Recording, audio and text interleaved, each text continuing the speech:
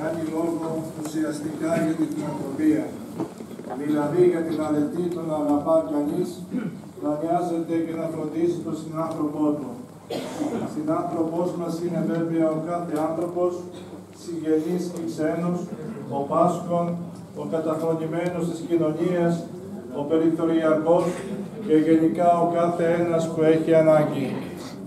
Η αγάπη που επιδεικνύουμε ή που αρνιόμαστε στους συνανθρώπους μας αποτελεί το κριτήριο της αιωνιότητάς μας στο παράδεισο ή στην κόλαση.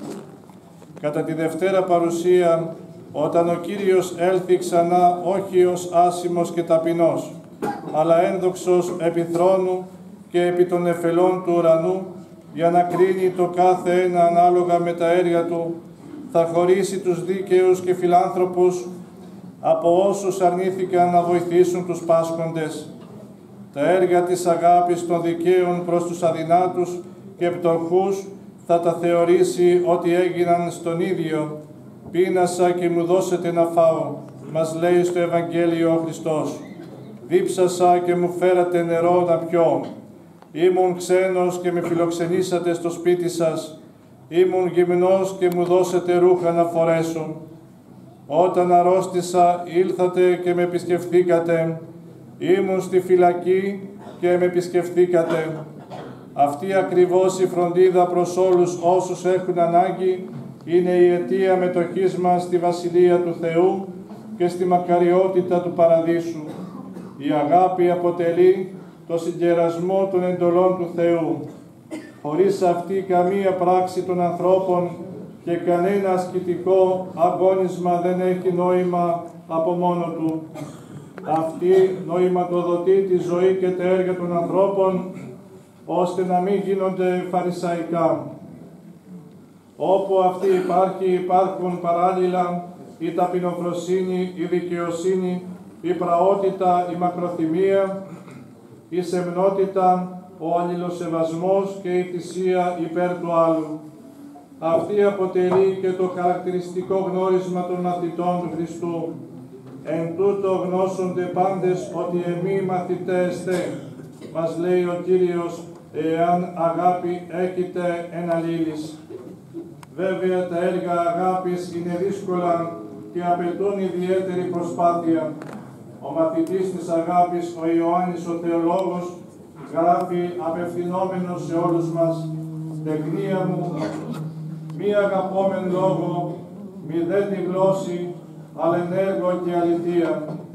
Ο δε Ιάκωβος, ο αδελφόθεος, παρατηρεί, εάν σε ένα γυμνό και πεινασμένο πει κάποιος «Ο Θεός μαζί σου», εύχομαι να βρεις ρούχα να φορέσεις και φαγητό για να χορτάσεις, τότε ποιο το όφελος εφόσον δεν του δώσει τα απαραίτητα που χρειάζεται. Άρα, εάν μείνουμε χριστιανοί των λόγων, χωρίς έμπρακτη αγάπη, δεν θα αξιοθούμε του Παραδείσου. Επιπλέον, το να δούμε με αγάπη, συγκατάβαση και φιλανθρωπία των πλησίων μας, καλύπτοντας τις πολύ απλές καθημερινές του ανάγκες, είναι δύσκολο.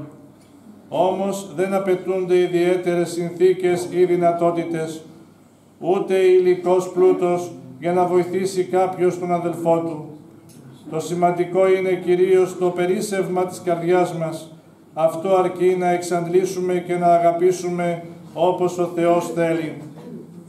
Τα έργα προς τους φτωχούς και καταφρονεμένους, τα οποία απαριθμεί ο Χριστός, είναι πολύ απλά και δεν απαιτούν παρά μόνο την εκδήλωση της αγάπης μας.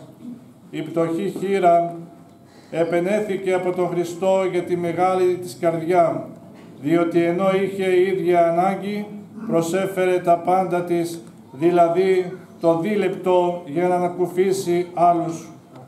Αδελφοί μου, ως χριστιανοί πρέπει να αναλογιστούμε έμπρακτα τις ανάγκες των ελαχίστων αδελφών μας και ανοίγοντας την καρδιά μας να τους συνδράμουμε και να τους ανακουφίσουμε από την πείνα, τη δίψα, τη γυμνότητα και τη μοναξιά τους. Η προσφορά μας αυτή να θυμόμαστε πως δεν έχει συνάρτηση με τη δυνατότητά μας, αλλά εξάρτηση από τη διάθεση της καρδιάς μας.